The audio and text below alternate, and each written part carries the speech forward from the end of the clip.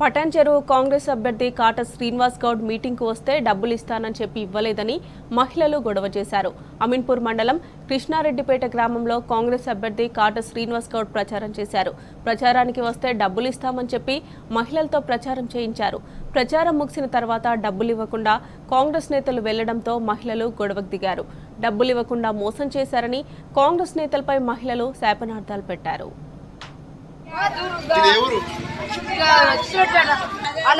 పేరు రాసుకో మేము రాసుకోము. ఆయన వచ్చి పోయినాక ఇస్తాము అని అన్నారు. మంది అన్నారు అందరు అన్నారు. అంటే మేము మాత్రం అట్లా ఏం వచ్చినాము మేము. చలికి మరి ఏమన్నా ఇచ్చి పంపించలేదా మాకు? పెడతంటే ఆశ అంట కొడుతుంటే భయం అంట. ఏమంటారు? మీరే చెప్పండి. మీరే చెప్పండి. కొడుతుంటే ఆశ పెడతంటే పెడతంటే ఆశ కొడుతుంటే భయం.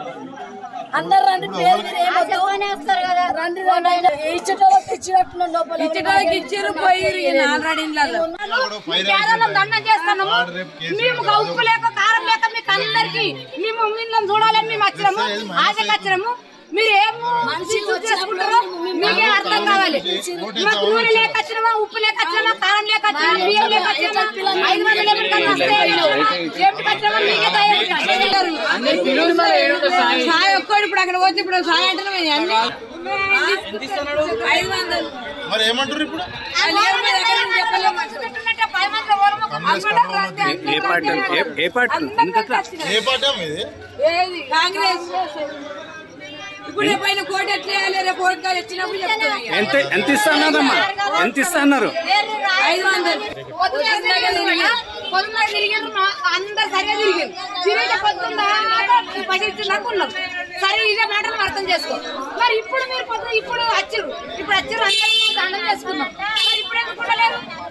ఇప్పుడు ఎందుకు ఉండలేరు అందరూ? చెప్పు మీకు మీకు దొరకబెట్టుగా మీరు వెళ్ళారు అయితే మీరు కదా.